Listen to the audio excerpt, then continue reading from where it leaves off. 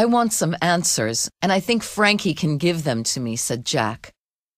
If you want my advice, Jack, forget about Frankie Lewis and anyone else that your father used to know, advised Tommy. Frankie had an argument with Dad a few weeks before Dad died. And I want to know what they argued about, said Jack. I don't know anything about an argument, said Tommy honestly.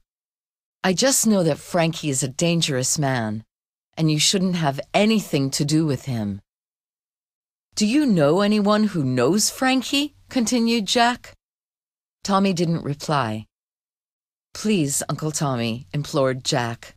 I have to find out the truth. If you loved my dad, you'd help me. I don't believe Dad killed himself, and I'm sure that you don't think he did either. The investigation is finished, Jack, said Tommy.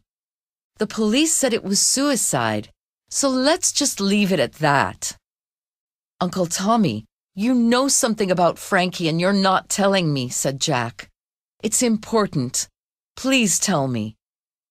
Tommy sighed. I know that Frankie had a brother, he answered.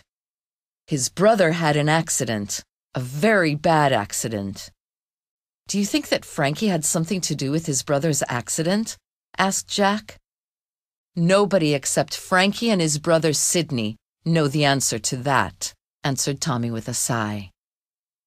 On the way back to Tommy's house, Jack asked his uncle if he knew where Sidney lived. He lived in the East End back in the old days, Tommy told Jack. In Ernest Street, Whitechapel. But I don't know if he still lives there. Anyway, from what I hear, he doesn't see or speak to anyone these days. So if I were you, I wouldn't waste my time going to visit him.